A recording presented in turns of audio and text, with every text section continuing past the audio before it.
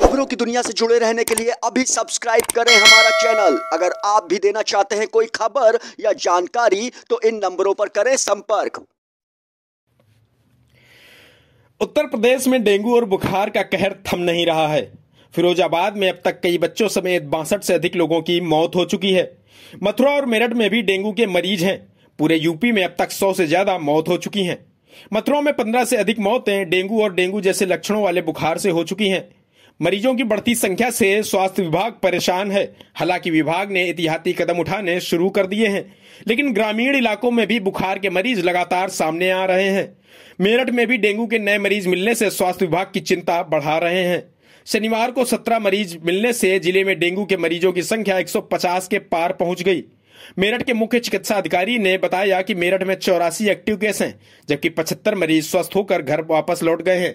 अगर कल की बात करें तो डेंगू के सत्रह नए मरीज़ मेरठ में मिले थे। उन्होंने कहा कि लोग पहले के मुकाबले ज़्यादा जागरूक हो रहे हैं। उन्होंने ये भी कहा कि ग्रामीण क्षेत्रों में हमें लार्वा मिला है। स्वास्थ्य विभाग की टीम घर में डेंगू निकलता है तो उनके आसपास पचास घरों का निरीक्षण करती है। वहीं डेंगू के मरीज़ में घर के आसपास फॉगिंग और इस तरह का कार्य किया जा रहा है। टीम फॉगिंग और एंटी लार्वा स्प्रे लगातार कर रही है, जिसके अच्छे परिणाम हमें मिले हैं। वहीं डोर टू डोर सर्वे में भी बात करें तो बुखार के रोगी अधिक मिले हैं, जिसमें लगभग बत्तीस सौ केस हमें बुखार के मिले।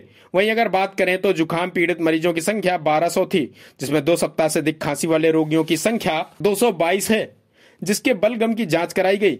यहाँ जिला प्रशासन डेंगू की रोकथाम के लिए लोगों को जागरूक करने में जुटा है।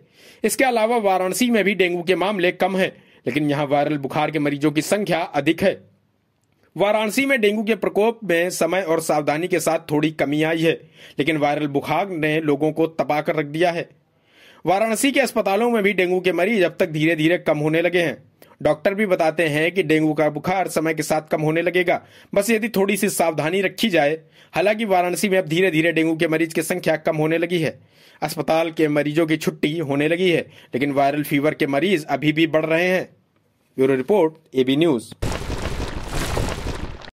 subscribe करें एबी न्यूज़ इंडिया के यूट्यूब चैनल को, क्योंकि हम रखते हैं आपको हर पल अपडेट।